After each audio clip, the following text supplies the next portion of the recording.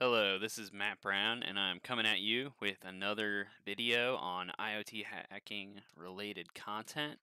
Uh, I want to thank everyone who watched my first video and commented on it, shared your feedback. Uh, really appreciate all that.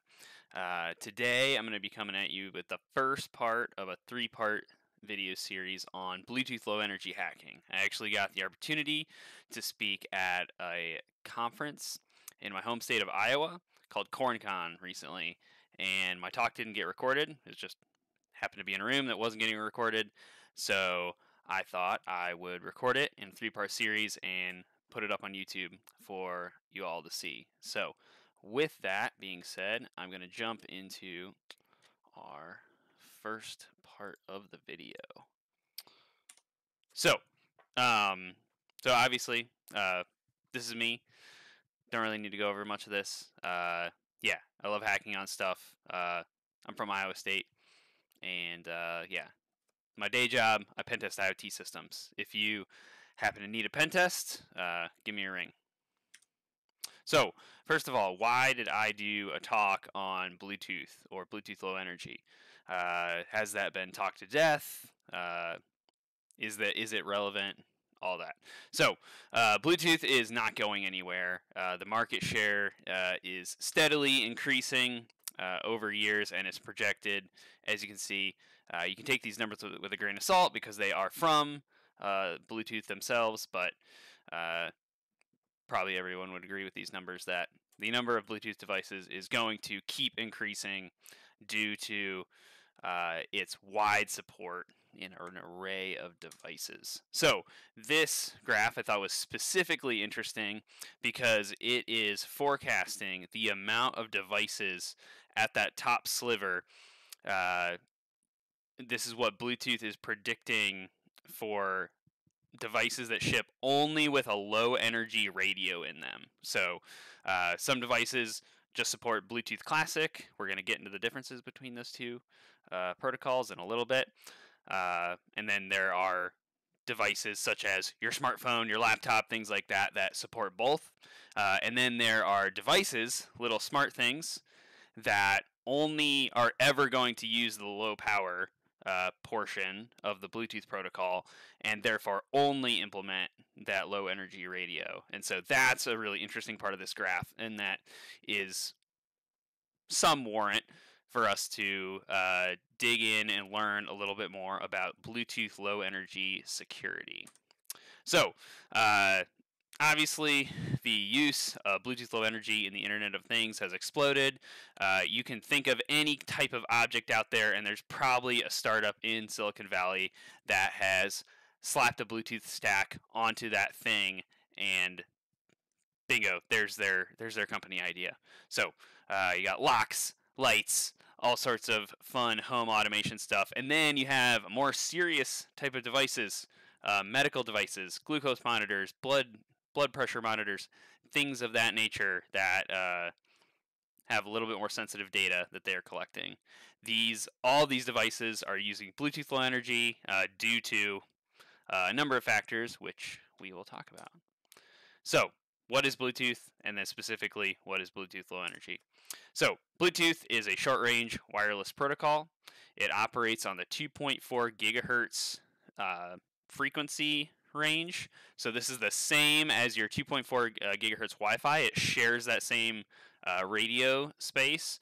Uh, and then, uh, yeah, kind of also your microwave. If your microwave is leaking and it doesn't have, it's not shielded properly, that can cause interference on 2.4 gigahertz. Uh, fun fact.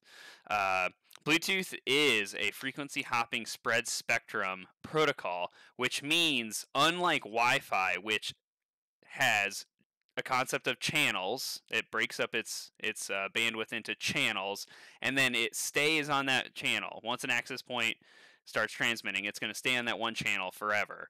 Uh, Bluetooth does not do that. Bluetooth uses its whole frequency space and hops through that frequency space, which provides some reliability increases in Bluetooth's case, and also some challenges if you're trying to sniff Bluetooth, with which we will get into in part two. Uh, so Bluetooth, why why is it so ubiquitous? Well, it doesn't consume as much power as Wi-Fi or other high data rate protocols, uh, and so that is a huge driving factor in why it's being used in Internet of Things devices. Is it just doesn't consume as much power as Wi-Fi does, and it is also widely supported in every mobile device that's being made out there. It supports Bluetooth, and your laptop computer and your probably your desktop computer as well. If your if your computer has a Wi-Fi card in it, it probably has Bluetooth just built into that same piece of silicon. Uh, not even the same Wi-Fi card. It's probably baked into the same piece of silicon as your Wi-Fi card. So it has support all across the range of devices it needs to. And Bluetooth is split into two protocols, classic and low energy. Uh, so what are those two protocols? What are the differences? So Bluetooth Classic came first. Uh, it wasn't originally called Bluetooth Classic, but now we call it Bluetooth Classic. This is a higher power consumption uh, protocol, and it can max out at uh, three megabits per second. Um, it obviously has those you know different different modes it can operate in. It splits up its frequency range into 80 channels and its main use cases are things like data transfer and audio streaming. Uh, so your today, your you know your your Airbud, your your AirPods, your uh, like if you're trying to do a data transfer from a phone to a computer or something like that over Bluetooth, it's probably using Classic. Also, if you're like pairing your phone with your car, most likely that's using the Classic protocol. Uh, as well as a number of other things here and there. But what is Bluetooth Low Energy? Bluetooth Low Energy, obviously, because of the name, it consumes less power than the classic protocol, uh, which is a very attractive thing to IoT manufacturers who are trying to run on very low power. Uh, it has a wide range of uh, data rates but you can see on the high end, it's actually approaching Bluetooth Classic. So at some point, that it may even be as fast as Bluetooth Classic with all the developments that have been put into Bluetooth low energy. Uh, low, low energy. Uh, so in Bluetooth Low Energy, we see the channel space is broken up into 40 channels, and three of those channels are advertising channels. This will be very important later when we want to sniff Bluetooth traffic. And then the other remaining 37 channels are just the data channels that a normal data transmission occurs on. So, what is, are the use cases that Bluetooth Low Energy would support? So, you can see it also supports data transfer. It's just not going to be able to do it as fast as the highest data rate of Bluetooth Classic, but it can do data transfer, absolutely. It's also uh, very useful for location services, device networking, and uh, in the future, it has plans to do audio streaming. So you'll notice that all of the features that Classic supports, Bluetooth Low Energy either supports it, maybe just not in as fast of a way, uh, or it has plans to support that feature in the future. Uh, and in fact, most of the major updates to the Bluetooth specif specification in recent times have been updates to the low energy side of that protocol. So, what does a typical Bluetooth low energy system architecture look like? Uh, this is just a example diagram here. Uh, some of them can differ, but generally speaking, your mobile phone is going to be the gateway uh, for that smart thing to connect to the internet to, to communicate with the rest of the world. Because it cannot directly communicate with the internet uh, if it's just bluetooth based and not wi-fi based uh, so in bluetooth low energy we have these names. So we call the the item that is going to make a bluetooth connection to a device the central device and it connects to a peripheral device so we see those labeled there in the diagram. And everything else in blue is kind of our standard architecture that we have some mobile API server that's going to support the mobile application and communicating that data back and being stored in some kind of a database, which then potentially can optionally be accessed via a web application as if if you want to interact with this device in a different way and that data. So, uh, how do devices advertise themselves to the world? So, a peripheral device, so a smart device like this heart rate monitor that I'm wearing, it will advertise to the world on one of those three advertising channels. It'll say, hey, I want to connect, and it will even give some general data about itself to the world. It will actually identify before anyone is connected to it that it is that it provides a heart rate service on this device. So when a central device, a mobile phone, wants to connect to that peripheral device, it will scan on those three advertising channels to discover what devices are out there in the world. And then the central device will initiate a connection to that peripheral device. Once a connection has been made, then how do we how do we like how do we exchange data back and forth? So if you've done any work in uh, web API space, if you're familiar with APIs, you can think of these things called characteristics in Bluetooth as APIs.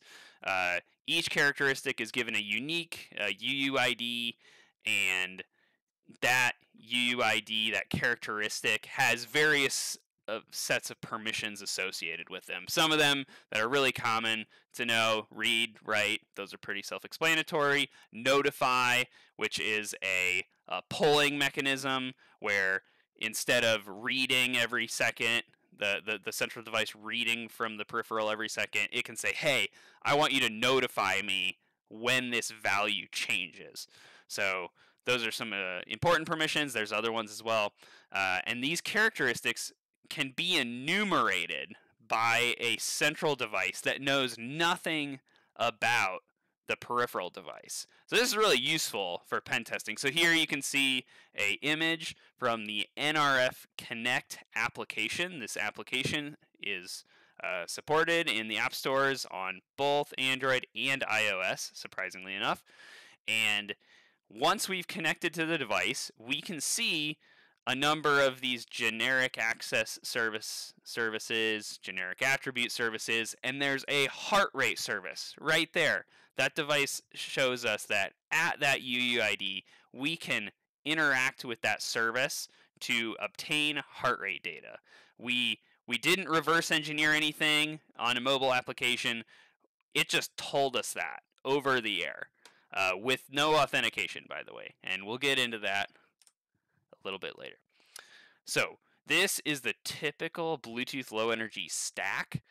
Uh, we're not going to really dig too deep into this, but we're just going to hit some of the highlights. So starting from the bottom of this stack and moving up, obviously at the physical layer, you've got, you know, radio waves being converted into ones and zeros. Uh, we're not going to discuss how that takes place because that is even over my head. Uh, I don't care. So the link layer, which is one layer above that, is where it has the concept of MAC addresses. Same concept as in you know Wi-Fi or Ethernet. Every uh, Bluetooth device is identified by a MAC address. Uh, and then link the link layer is also where optionally encryption happens in Bluetooth Low Energy. In, I did say optional because it is not a required part of the Bluetooth Low Energy protocol to uh, have encryption enabled.